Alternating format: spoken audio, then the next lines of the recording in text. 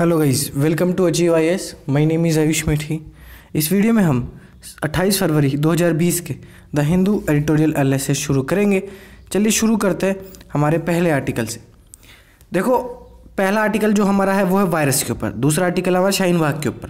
पहला जो आर्टिकल है, वो हमारा कोविड नाइन्टीन, कोरोना वायरस के ऊपर है। और डाटा दिया जा रहा है कि कैसे कैसे कितने देशों में फैल चुका है। ईरान में बहुत ही तेज़ी से बढ़ोतरी देखने को मिली है। बाकी देशों में भी बहुत ही तेज़ी से इसकी नंबर बढ़े हैं। चाइना में इसको काफ़ी हद तक काबू पा लिया गया है। एक खुशी की बात है, लेकिन ईरान में देखा जा रहा है कि बहुत तेज़ी से ये संख्या बढ़ रही है। सात दिन के अंदर अंदर बीस, सत्ताईस से दो सौ, ढाई सौ तक ये पहुँच गई है। तो देखा जा रहा है कि ईरान जो है, ईरान से पाकिस्तान और पाकिस्तान से इंडिया में ये थोड़ी सी एक समस्या निकल के आ रही है और ये डाटा दिया जा रहा है तो डाटा हमारे लिए काम का है नहीं यूपीएससी के लिए। दूसरा जो आर्टिकल है, वो है हमारा hope belief and the candles of Shaheen Bagh ये पॉलिटिक्स के ऊपर है और ये हम पढ़ते नहीं हैं। Browning east Aadhaar no stand up performer in welfare delivery और ये हमारे मेन आर्टिकल है जो हम पढ़ेंगे। सबसे पहले बात करते हैं ईस्टर्न घाट्स की। Climate change. क्लाइमेट चेंज की वजह से ईस्टर्न घाट्स में बहुत सारी प्रॉब्लम्स देखने को मिल रही है। वो पेड़, वो ट्रीज़ वो फॉरेस्ट जो हमारे जीवन को एक नई दिशा हर रोज़ प्रदान करते थे, जो हमारी एक सबसे बड़ी ज़रूरत थे, उनको ही हम नुकसान पहुंचाते जा रहे हैं। अगर आप कहते हो कि वेस्टर्न घाट्स इंडिया की नेचुरल हेरिटेज का क्राउन ज्वेल है। क्राउन ज्वेल जो राजा के मुकुट होता है, उसमें जो ज्वेल होता है ना, डायमंड वगैरह कुछ भी, उसको क्राउन ज्वेल। तो वेस्टर्न हाउट्स घाट्स को इंडिया की नेचुरल हेरिटेज का क्राउन ज्वेल माना जा रहा है। तो ईस्टर्न घाट्स भी कुछ कम नहीं है, ये बहुत अच्छा रोल निभाता है ईस्टर्न घाट्स, जो कि उड़ीसा से साउदर्न तमिलनाडु तक फैला हुआ पचहत्तर हज़ार किलोमीटर में ये बहुत अच्छा रोल निभाता है और एक बार मैं आपको मैप में दिखा देता हूँ। ये है आपके सामने ईस्टर्न घाट्स ठीक है, बड़ा वाला मैप ऊपर देख सकते हो, नीचे जो है वो मैं बिल्कुल मैंने ईस्टर्न, साउदर्न लिया है, जिसमें आप देख सकते हैं कि कौन कौन से राज्य में फैला हुआ ईस्टर्न घाट्स उड़ीसा, ठीक है तो तेलंगाना में भी है थोड़ा सा, आंध्र प्रदेश में भी है, कर्नाटका में भी है और तमिलनाडु में भी है। ठीक है तो उड़ीसा में जो है बिल्कुल वो शुरू हो रहा है और तमिलनाडु तक ये जा रहा है। अब वेस्टर्न घाट जो है हमारा वेस्टर्न घाट्स वो बेसिकली महाराष्ट्र में और इधर कर्नाटका में इधर फैला हुआ है। ठीक है, ये आपके वेस्टर्न घाट्स हैं। ये आपका वेस्टर्न घाट्स है, ठीक है? ईस्टर्न घाट्स मैंने आपको बता दिया। मैप में हमने देख लिया। वेस्टर्न घाट्स भी बहुत अच्छा रोल निभाते हैं ईस्टर्न घाट्स भी अच्छा रोल निभाते हैं। वेस्टर्न घाट्स पे पहले ही बहुत समस्या आ रही है क्लाइमेट चेंज की वजह से, जिसका भारी नुकसान कर केरला को झेलना पड़ रहा है। ईस्टर्न घाट्स की मैं बात करूँ तो ये बायोडाइवर्सिटी बायोडाइवर्सिटी हमको प्रदान करते हैं। और ट्रीज़ जो आज के समय में सबसे ज़्यादा हमारी ज़रूरत पूरी कर रहे हैं, वो है स्टोरिंग एनर्जी कार्बन कैप्चर वो कर लेते हैं, वो भी एक बहुत अच्छा रोल है। जो हम इतना पोल्यूशन कर रहे हैं, उसको कैप्चर करने का काम कौन करता है? कार्बन सिंक कौन है हमारे लिए? ट्रीज फॉरेस्ट तीन हज़ार से ज़्यादा प्लांट स्पीसीज यहाँ पे हैं, जिनमें सौ तो एंडेमिक है। एंडेमिक मतलब जो यहीं है, यहीं और कहीं नहीं पाएँगे आपको, इसी जगह वो फ्लावर्स पाए जाएँगे। क्योंकि dry deciduous most deciduous semi evergreen landscapes भी पाए जाते हैं। अब इनके बारे में आपने जोग्राफी में पढ़ा होगा, और ये ज़रूरी है। Many animals including tigers and elephants and some 400 bird species are found in this discontinuous forest that receive an annual average rainfall of 1200 millimeter to uh, 1500 millimeter देखो चार सौ बर्ड स्पीसीज इसमें पाई जाती हैं डिसकंटिन्यूस है ये. वेस्टर्न घाट्स पूरा कंटिन्यूस है. और डिसकंटिन्यूस का मतलब क्या होता है? इंडिपेंडेंट हिल्स यहाँ पे हैं. पहाड़ियाँ हैं छोटी छोटी पहाड़ियाँ पूरी मिलके ईस्टर्न घाट्स बनाती हैं. तो ये डिसकंटिन्यूस हैं और वेस्टर्न घाट जो है वो एलिवेशन में थोड़े ऊँचे भी है. ईस्टर्न घाट्स थोड़े कम है. मतलब ईस्टर्न घाट जो है थोड़े लो है. मैं बताऊँगा अभी आपको उस पर भी डिफरेंस उड़ीसा, आंध्र प्रदेश, तमिलनाडु, इनमें फैले हुए हमने देखा। लाखों लोगों को फॉरेस्ट प्रोड्यूस और इकोसिस्टम प्रोवाइड करते हैं। और इतने सारे फ़ंक्शंस ये करते हैं कि क्लाइमेट को भी मॉड्यूलेट करते हैं। मॉड्यूलेट कैसे? मॉड्यूलेट मतलब संभालना, सामंजस्य बैठाना। क्लाइमेट चेंज इस कदर हो रहा है कि मानसून का पता नहीं चल रहा है, बारिश कब आती है चली जाती है, इसकी कोई भी जो है जानकारी ढंग से नहीं मिल पा रही है। तो हमारा सबसे बड़ा लक्ष्य आज की 2020 से 2030 तक इस दशक में हमारा सबसे बड़ा चैलेंज क्या है? पोवर्टी तो हमेशा से रही है अनएम्प्लॉयमेंट तो हमेशा से रही है। सबसे बड़ा चैलेंज है क्लाइमेट चेंज और क्लाइमेट चेंज का सॉल्यूशन है कि ट्रीज़ क्योंकि ट्रीज़ जो हैं वो क्लाइमेट को मॉड्यूलेट कर सकते हैं। डाइवर्सिटी बायोडाइवर्सिटी फोस्टर कर सकते हैं, बढ़ा सकते हैं। सस्टेनेंस बढ़ा प्रोवाइड करवा सकते हैं सस्टेनेबिलिटी बढ़ा सकते हैं। सस्टेनेबिलिटी मतलब आप पानी पी रहे हो, जो स्वच्छ, वो आपकी पीढ़ी पी पाएगी कि नहीं पी पाएगी? क्या उतना पानी बचेगा? क्या उतनी स्वच्छता उसमें रहेगी? ये सस्टेनेबिलिटी होती है। नई रिसर्च फाइंडिंग्स आई हैं जिनमें पता लगा कि ईस्टर्न घाट्स को बहुत बड़ा खतरा क्लाइमेट चेंज से झेलना पड़ रहा है और टेम्परेचर वेरिएशंस बहुत बड़ी चिंता का विषय है। एनुअल एवरेज टेम्परेचर में जो डिसरप्शन आ रहा है, भाई एनुअल पहले टेम्परेचर कितना था, अब कितना है, देखा जा रहा है कि बढ़ता जा रहा है। इसकी वजह से ना केवल बारिश घट रही है, बल्कि इनकी फॉरेस्ट की जो प्रोडक्टिविटी है, वो भी घट रही है। और वो प्रोडक्टिविटी जो एक तो कार्बन स्टोर करने की है, वो सबसे ज़्यादा इस चीज़ पर असर पड़ रहा है। देखो अमेजोन फॉरेस्ट है ब्राज़ील के। कितना कार्बन वो कैप्चर कर लेते हैं, और जब वो जलते हैं तो कार्बन छोड़ देते हैं। तो हम अपने ही जो पेड़ हैं, जो हमारी ज़िंदगी का एक बहुत बड़ा आधार है उनको ही हम क्लाइमेट चेंज की वजह से मारने की कोशिश कर रहे हैं, उनको ही जो है मिटाने की कोशिश कर रहे हैं। क्योंकि देखा ये गया कि साल में जो सबसे सूखा समय आता है, उसमें रेनफॉल पूरी तरीके से ख़त्म हो जाती है। सीजनल टेम्परेचर बढ़ रहा है। प्लांट स्पीसीज रिड्यूस हो रही हैं। ट्रीज की जगह हब्स आ रही हैं हब्स वॉर्म टेम्परेचर में हर्ब्स आने लग जाते हैं, घास फूस आने लग जाते हैं। तो ये दिक्कतें सामने लाती है। ईस्टर्न घाट्स जिनके बीच में से गोदावरी और कृष्णा गुजरती है नदियाँ, जब ईस्टर्न घाट्स बिल्कुल डिसपियर हो जाता है।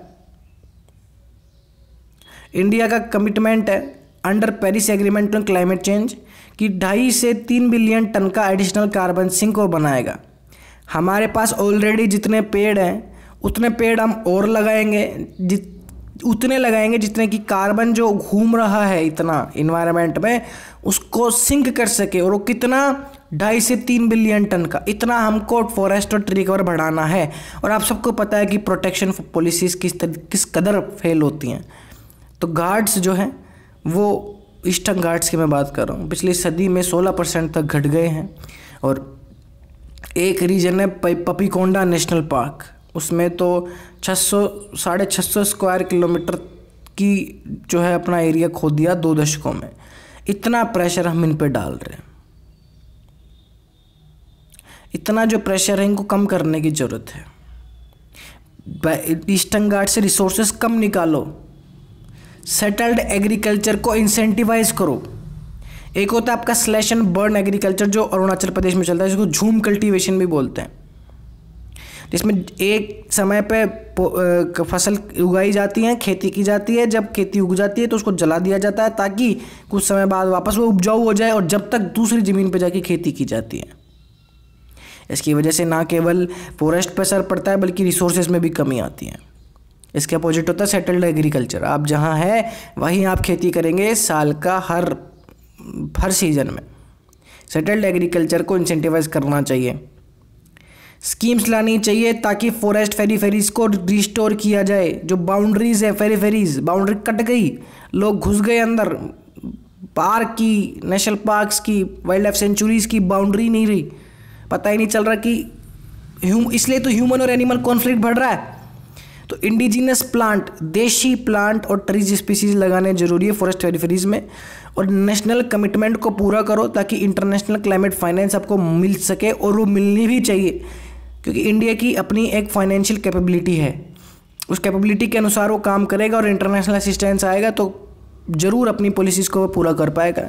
IIT Kharagpur international crops research institute इन्होंने वार्निंग दी है कि टेम्परेचर जिस कदर बढ़ रहा है रेनफॉल जिस कदर चेंज हो रही है हमको अभी अभी अर्जेंट स्टेप्स लेने पड़ेंगे। कल की बात नहीं है क्लाइमेट चेंज आज अभी हो रहा है ये। अगर आप गलत फहमी में है कि क्लाइमेट चेंज अब होगा, ऐसा नहीं है। स्नो पिघल रही है। आइस मेल्ट हो रही है क्लाइमेट चेंज हो रहा है रेनफॉल कम हो रही है टेम्परेचर बढ़ रहा है। इस बार का जो जनवरी था ना अपना, जहाँ तक मुझे याद है कि जनवरी 2020 1886 के बाद से सबसे सबसे हॉट जनवरी था।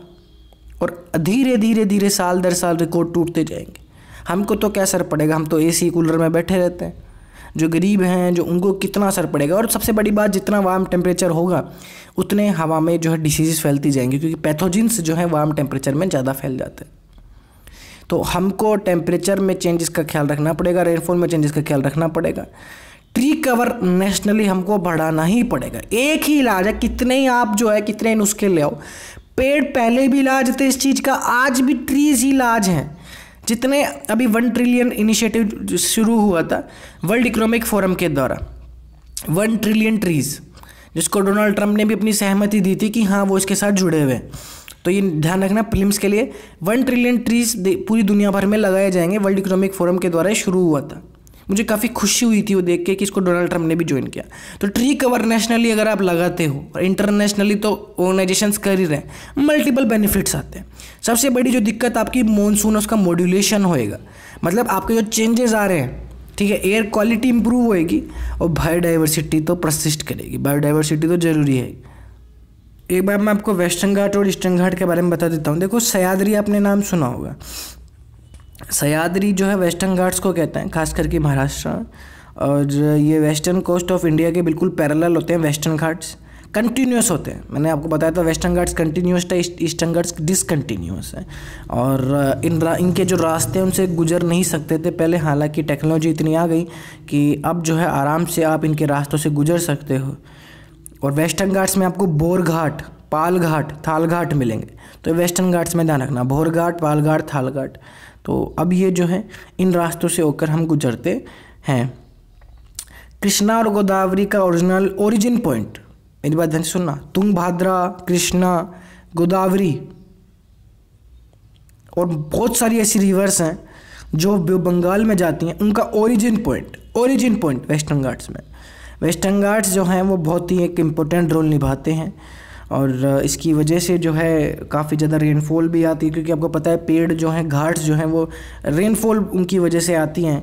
और इसकी हाईएस्ट पीक है अन्नाईमुड़ी अन्नाईमुड़ी। अच्छा वेस्टर्न घाट्स की हाईएस्ट पीक है अन्नाईमुड़ी, जिसकी हाइट है करीब 2500 मीटर। और ईस्टर्न घाट्स की सबसे ऊँची जो पहाड़ी है, वो है महेंद्रगिरी, जिसकी हाइट है डेढ़ सौ मीटर। तो आपको पता चल गया होगा कि वेस्टर्न घाट्स ऊंचाई में ज़्यादा है एलिवेशन में और ईस्टर्न घाट्स कम है, क्योंकि आप डिफरेंस देख सकते हैं। प्रीम्स के लिए मैंने आपको बता दिया Anamudi Western Ghats की हाईएस्ट पीक है। महेंद्र महेंद्रगिरी ईस्टर्न घाट्स की हाईएस्ट पीक है।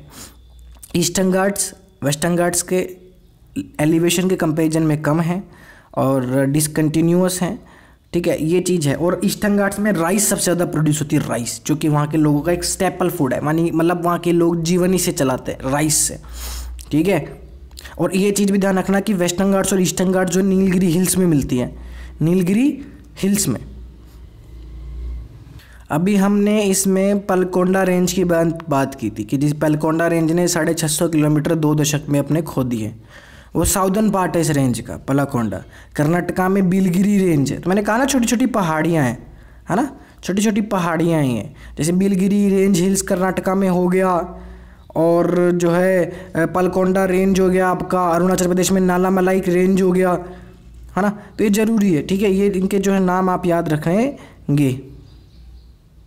एक करेक्शन मैं आपको करवा देना चाहता हूँ यहाँ पे कि जो मैंने बताया था कि हाईएस्ट जो पीक है ईस्टर्न घाट्स की वो महेंद्रगिरी है और उसमें मैंने डेढ़ सौ मीटर आपको जो है ऊंचाई बोली जबकि नहीं है, पंद्रह सौ मीटर इसकी ऊंचाई है और जो अन्नामलाई, जो अन्नामुड़ी है, जो वेस्टर्न घाट्स की है, उसकी ऊंचाई पच्चीस सौ मीटर है, ध्यान रखना। तो महेंद्रगिरी की ऊंचाई डेढ़ नहीं है, पंद्रह है। है लेकिन कम वेस्टर्न घाट्स के। तो एक करेक्शन आप कर लेना माफ़ी देना मुझे इस गलती के लिए। चलिए हम आगे बढ़ बात हुई आधार के।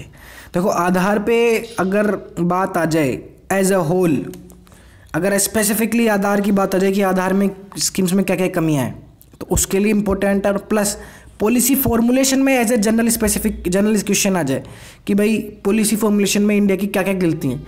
तो उसमें भी आप इस आधार का एग्ज़ाम्पल कोड कर सकते हैं। तो आधार सबसे पहले जो है कैसा कहा गया था? Unique identification authority of India जिसके द्वारा आपका आधार आधार चलता है। उसके सीईओ अजय भूषण पांडे, उन्होंने कहा था कि आधार की वजह से हमको नब्बे हज़ार करोड़ की बचत हुई है और काफ़ी ज़्यादा फ़ायदा हमको मिला है क्योंकि गवर्नमेंट जो सब्सिडीज़ हैं जिसमें लीकेज होता था, भाई जो लोग हैं, जो है वो पॉवर्टी लाइन लेकिन कार्ड बना लिए बिलो पॉवर्टी लाइन मैंने देखा है, राशन दुकानों पे जा जा के सामान खरीद रहे हैं, अमीर से अमीर लोग, जो गरीबों को, जो गरीबों को तो मिल नहीं रहा, अमीर और खरीद रहे तो यहाँ पे जो सरकार ने कहा कि नब्बे हज़ार करोड़ की हमको बचत हुई, क्या ये वास्तव में सही है? इस प्रश्न का जवाब दिया जा रहा है प्रोफेसर कार्तिक मुरलीधरन और पॉल निखोस और संदीप सुरंतन ने, जिन्होंने स्टडी की थी।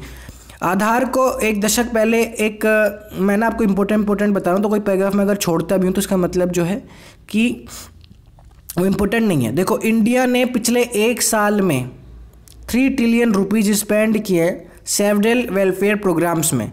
चाहे वो पब्लिक डिस्ट्रीब्यूशन सिस्टम हो, चाहे वो लिक्विड पेट्रोलियम गैस हो एलपीजी हो। Mahatma Gandhi national rural employment guarantee act हो। और इन सब में जो पैसा है, तीस चालीस परसेंट वो लीकेज में गया। लीकेज मतलब वही जिनको घोस्ट और डुप्लीकेट बेनिफिशरी कहते हैं, जो वास्तव में उनको बेनिफिट्स नहीं चाहिए, लेकिन वो फिर भी वो फेक कार्ड बना के, गरीब की जैसे बन के और इन बेनिफिट्स का फ़ायदा उठाते हैं, जो बेनिफिट्स गरीबों के लिए बने हुए हैं। तो हमने आधार ला के कोशिश की थी कि अब आधार बनेगा तो पता चल जाएगा कौन अमीर है, कौन गरीब और किसको वास्तव में ज़रूरत है। तो एक यूनिक आइडेंटिटी बायोमेट्रिक सिस्टम होगा। भाई, हम क्या करेंगे? हम सारे बीपीएल वालों का रजिस्टर करवा लेंगे, आधार से मैच करेंगे। अच्छा तो टीम बीपीएल से हो, ठीक है। और कोई एपीएल वाला आ गया तो देखेंगे तुम तो रजिस्टर हो ही नहीं। तुम्हारा आधार कार्ड तो इसमें जुड़ा हुआ है ही नहीं। है ना? तो हमने सोचा था कि आधार कार्ड को जोड़ के हमें देख लेंगे कि कहाँ कहाँ कौन कौन सा पैसा कितना लीकेज हो रहा है और इससे जो है इफिशियंसी तो बहुत तेज़ी से बढ़ जाएगी। ये सब कुछ है, हमने सोचा था। इंटेंशन काफ़ी अच्छी थी सरकार की आधार कार्ड लाने के मामले में और इसको देखते हुए यूनियन मिनिस्टर अरुण जेटली जो, अब जो कि लेट अरुण जेटली हैं, जो कि स्वर्गवासी हैं, उन्होंने एक इस आधार बिल को नाम दे दिया था targeted delivery of financial and other subsidies benefits and services bill और इन्होंने क्लियर कर दिया था कि आधार का जो प्राइमरी अगर इकलौता नहीं तो कम से कम प्राइमरी पर्पस तो ये है कि वेलफेयर की डिलीवरी इफ़िशेंसी बढ़ाई जाए।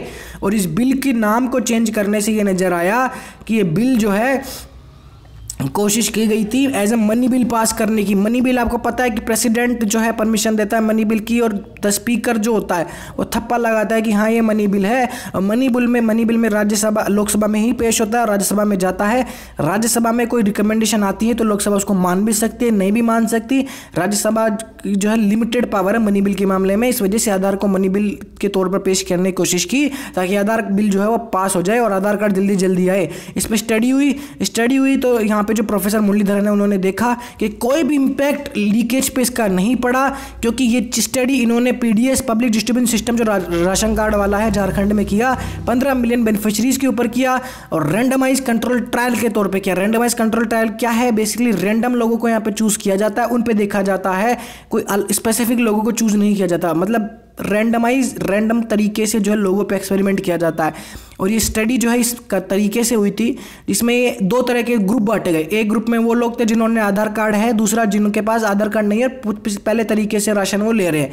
तो फिर कंपैरिजन किया गया कि दोनों में फ़ायदा किसको हो रहा है? तो स्टडी ने ये देखा कि जो आधार वाले जो लोग हैं, उनको कोई बेनिफिट नहीं हो रहा और कोई लीकेज भी रिड्यूस नहीं हो रही। उल्टा ये देखा गया कि घोस्ट और डुप्लीकेट्स का एलिमिनेशन बिल्कुल भी नहीं हो रहा, उतना ही है, जबकि जो ट्रांजेक्शन कॉस्ट है बेनिफिशरीज की, वो बढ़ गई। आधार अगर आप बना रहे हो तो आपको जो है आधार कार्ड बनाने का पैसा, समय आपका खर्च होएगा। टोटल में अगर आपको बोलूँ तो सत्रह percent extra cost burden Aadhaar card वालों के पास लग रहा है। ये जो है एक समस्या है। दूसरी समस्या ये है कि मान लो आपने सत्रह परसेंट पैसा खर्च करके चलो आधार कार्ड बनवा भी दिया। आप अगर बायोमेट्रिक ऑथेंटिकेशन के लिए आप पीडीएस की दुकान पे कहीं भी जाते हैं, राशन शॉप पे जाते हैं, वहाँ पे पता चलता है कि आपका आधार कार्ड का नाम, राशन कार्ड के जो नाम की लिस्ट है, उसमें मैच ही नहीं हो रहा। आपका नाम गलत है, आपकी उम्र, आपकी कुछ माँ बाप का नाम गलत है एड्रेस गलत है, कुछ भी हो सकता है। तो इसका टाइप वन एरर कहते हैं इंक्लूजन का टाइप वन बायोमेट्रिक ऑथेंटिकेशन ही गलत हो गया। अगर आप वास्तव में गरीब हैं, कोई अगर गरीब है और किसी को चाहिए आधार कार्ड की वजह से उसको वो नहीं मिल पा रहा तो एक तो डुप्लीकेट लोग तो ले ही रहे हैं, लेकिन जिसको ज़रूरत है वो तो मिल ही नहीं पा रहा। तो राशन सप्लाई उनको नहीं मिलती। टेन परसेंट ऐसा स्टडी में देखा गया कि टेन परसेंट लोग ऐसे थे। जिनको ज़रूरत थी इस चीज़ की, जो लेजिटिमेट बेनिफिशरीज थे, लेकिन उनको नहीं मिला क्योंकि उनके राशन कार्ड में एक्स लिंक नहीं हुआ। उनका आधार कार्ड या तो आधार कार्ड में नाम गलत आ गया एक्सक्लूजन एरर हो गया। तो ये कुछ प्रॉब्लम्स हैं। पहला तो ये कि कॉस्ट बढ़ जाती है, दूसरा टाइम खर्च होता है, तीसरा ऑथेंटिकेशन नहीं होता एक्सक्लूजन एरर आता है। और लीकेज जो है रिड्यूस नहीं हुआ। ये चार पाँच जो एरर्स हैं, चार पाँच जो चैलेंजेस हैं हमारे सामने, वो आप आधार कार्ड के आधार के क्वेश्चन में या फिर पॉलिसी पॉलिसी फेलर का क्वेश्चन आ जाए तो उसमें आप डाल सकते हो। क्योंकि एक जाए का एग्ज़ाम्पल मैं भी आपको बताऊँगा अच्छा आधार में तो यह साबित हो गया कि लीकेज जो है रिडक्शन नहीं हुआ। दस परसेंट जो जिनोइन बेनिफिशरीज है उनको नहीं मिला, सत्रह परसेंट कॉस्ट भी बढ़ गई। तो कुल मिला के जो क्लेम था कि नब्बे हज़ार करोड़ हमने बचा ली सरकार की तरफ़ से, वो खोखला क्लेम है, झूठा क्लेम है ऐसा कुछ भी नहीं हुआ। और कुछ लोगों को ये शौक लगेगा गए सुन के, क्योंकि वो सोचते थे कि आधार कार्ड जो है गेम चेंजर है वेलफेयर डिलीवरी में। इस स्टडी को किया गया एमिनेंट स्कॉलर्स के द्वारा, जिन्होंने साइंटिफिक टेक्निक्स को यूज़ किया है तो उन पर सवाल आप उठा नहीं सकते। और प्रोफेशनल मुरलीधरन की जो टीम है और पूरा उनकी जो ये किया गया है, इससे पता चलता है कि इंडिया की अप्रोच जो है पॉलिसी मेकिंग में, उसमें कितना फॉल्ट लाइन है। एक एग्ज़ाम्पल यहाँ पे और दिया जा रहा है कि सब लोग यहाँ पे सोचते थे कि इंडिया की वेलफेयर डिलीवरी में सबसे बड़े दुश्मन कौन है? घोस्ट और डुप्लीकेट आधार इनको एलिमिनेट कर देगा। लेकिन कभी ऐसी सरकार की तरफ़ से कोशिश नहीं की गई कि आधार की वजह से कितने घोष्ट और डुप्लीकेट अलग अलग हो गए। कितने लोगों को यहाँ पे जो वास्तव में लेजिटिमेट है, जो योग्य है, उनको नहीं मिल रहा। सरकार ने कभी कोशिश नहीं की। माना गया कि आधार कार्ड जो है पूरी दुनिया को पलट देगा और पूरी वेलफेयर डिलीवरी सर्विसेज़ की स्ट्रक्चर बदल देगा। ये इसलिए माना गया क्योंकि यहाँ पे हमारे इंटेलेक्चुअल इलाइट कह रहे थे पॉलिसी मेकर्स कह रहे थे इकोनॉमिस्ट कह रहे थे तो हमने उन पर भरोसा कर लिया। तो रिसर्च करी, जब पता चला कि अच्छा कहानी तो ये है घोस्ट और डुप्लीकेट एलिमिनेट नहीं हो रहे, दस परसेंट यूनियन बेनिफिशरीज को जो है बेनिफिट नहीं मिल रहा, सत्रह परसेंट कॉस्ट और बढ़ रही है। और स्टडीज़ में पता लगा है कि गोस्ट और डुप्लीकेट वास्तव में इतने बड़े कारण नहीं है लीकेज के। कभी कभी करप्शन जो राशन शॉप्स के अंदर है ब्लैक मार्केटिंग है, वो भी एक बहुत बड़ी दिक्कत है। तो यहाँ पे अगर एक तरीके से सरकार अगर रोबस्ट पायलट प्रोजेक्ट के तौर पर अगर रिसर्च कर लेती कि वास्तव में आधार में दिक्कतें क्या आ रही है तो यहाँ पे जो है बहुत सारी प्रॉब्लम सॉल्व हो जाती। क्या लेकिन ये सरकार करेगी? जीएसटी की बात हो रही, दो एग्ज़ाम्पल आधार और जीएसटी की बात है। जीएसटी का एग्ज़ाम्पल लेकर चलता हूँ मैं। देखो, एक दशक हो गया जब यहाँ पे एक पॉलिसी इकोनॉमिस्ट सोचते थे कि यार स्टेट टैक्सेस को हटाओ स्टेट टैक्सेस को हटाओ, ये बहुत बड़े दुश्मन है इंटर स्टेट कॉमर्स के। एक राज्य से दूसरे राज्य में कॉमर्स नहीं हो पाता डबल टैक्स लगना पड़ता है। जीएसटी लाओ जीएसटी लाओ। इकोनॉमिस्ट कहते गए कहते गए, सरकार ने उनकी बात मानी, कहा, लो यार, तुम्हारी जीएसटी इंटेंशन सरकार का बिल्कुल साफ़ था और जीएसटी आने के बाद पता, देखो, सरकार की इंटेंशन हमेशा साफ़ रहती है और हम कभी भी जो है सरकार की इंटेंशन को क्लेम इसलिए नहीं करना चाहिए क्योंकि इंटेंशन आप कभी पता नहीं लगा सकते तो हमेशा अच्छा मान के चलो क्योंकि वोट उनको दिया है लोगों ने। लेकिन आप देखो कि सरकार की पॉलिसी के फेलर्स कितने ग्राउंड लेवल पे कितना काम हो रहा है। जीएसटी को अगर लाया गया अच्छे इंटेंशन के साथ तो जीएसटी की वजह से इंटरेस्टेड ट्रेड भी बढ़ना था। लेकिन इंटरेस्टेड ट्रेड जो है, वो जो वादा था, वो इतना नहीं बढ़ा। जीएसटी में जो चीज़ थी कि जीएसटी जैसे दो परसेंट पॉइंट जो है जीएसटी में बढ़ जाएगा, वो दूर दूर तक नज़र नहीं आ रहा। हाँ ट्रेड बढ़ा है इंटरेस्टेड ट्रेड में काफ़ी ज़्यादा आसानी हुई है। लेकिन इंडिविजुअल लेवल पे बात करूँ तो शॉप्स को बिजनेसमैन को काफ़ी ज़्यादा दिक्कत आ रही है, क्योंकि उनको बिल बन, उनको जो है हायर करना पड़ा दस दस हज़ार में अकाउंटेंट और कई चीज़ें होती हैं। उनको जो है कई बार देखा गया कि जीएसटी में फ्रॉड केसेस सामने आ रहे हैं, क्योंकि जो ई वे बिल है फर्जी बनाए जा रहे हैं। भाई ई वे बिल क्या होता है कि एक ट्रांस एक लिमिट होती है कि इतने किलोमीटर का आगे जाने के लिए अगर आपका सामान इतने किलोमीटर से आगे जा रहा है तो आपको ई वे बिल बनाना पड़ेगा। मुझे याद नहीं आ रहा एग्जैक्ट कितने किलोमीटर थे, आएगा तो मैं ज़रूर बता दूँगा आपको। स्टेट्स को ना होगा जीएसटी कलेक्शन का पैसा मिल रहा है। दो महीने हो गए, जी स्टेट्स कह रहे हैं, केंद्र सरकार से, राज्य सरकार कह रही है, हमको हमारा पैसा दो, हमको हमारा पैसा दो। केंद्र सरकार कह रही है जीएसटी से कलेक्शन इतना हो ही नहीं रहा कहाँ से दो तुमको पैसे? तो राज्य सरकार इसी भरोसे जीएसटी के साथ जुड़े थे, केंद्र सरकार के साथ, क्योंकि केंद्र सरकार ने जीएसटी के टाइम पे ऐसे बोला था कि जीएसटी की जीएसटी में अगर कोई नुकसान होता है आपको तो हम वो नुकसान झेल के हम आपको कंपनसेशन देंगे। राज्य इस वजह से राज़ी हुए थे और अब स्टेट्स को अगर इस तरीके से मना करेंगे तो पूरी डिपेंडेंट ही उनकी टैक्सेस में और स्टेट्स के पास पैसा नहीं जाएगा तो उनकी फ़िज़िकल डेफिसिट बढ़ेगी स्टेट्स की। स्टेट जो अपनी स्कीम्स में इन्वेस्ट नहीं कर पाएँगे। तो ट्रेड और जीडीपी के अलग बात है, और रिवेन्यू जो स्टेट्स को दिया जा रहा है वो अलग बात है, और तीनों में दिक्कतें सामने आ रही हैं। और दूसरी जो फॉल्ट फॉल्ट लाइन है ओवरऑल पॉलिसी मेकिंग की अगर मैं बात करूँ तो हमारा जो सक्सेस है वो किस तरीके से हम देखते हैं। भाई, कोई भी अगर, देखो, मैंने ना, मैंने, मैं एक ही बात मानता हूँ। अगर आप स्कीम्स ला रही हैं सरकार, दो तरह की स्कीम्स होती हैं, तीन तरह की होती हैं। एक स्कीम जो होती है जो एक ग्रुप को फ़ायदा करती है और दूसरे ग्रुप को फ़ायदा करती है। और लानी चाहिए। जैसे एजुकेशन, हेल्थ, बिजली, पानी, ये सब। दूसरा, एक ग्रुप को फ़ायदा करती है दूसरे ग्रुप को इम्पैक्ट नहीं करती। जैसे आपकी कोई सब्सिडी हो गई। एक ग्रुप को फ़ायदा करेगी, दूसरे ग्रुप को इम्पैक्ट नहीं करेगी। न्यूट्रल रहेगा।